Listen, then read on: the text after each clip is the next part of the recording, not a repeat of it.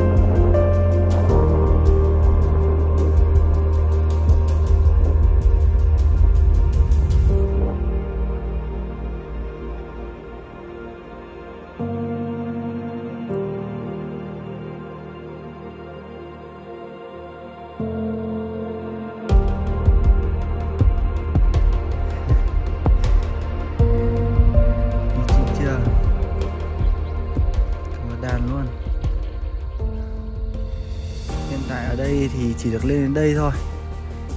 Còn à, các bạn có thể nhìn thấy từ xa này trên đây là rào chắn hết rồi. Cột mốc ở ngay đằng sau cái đồi này.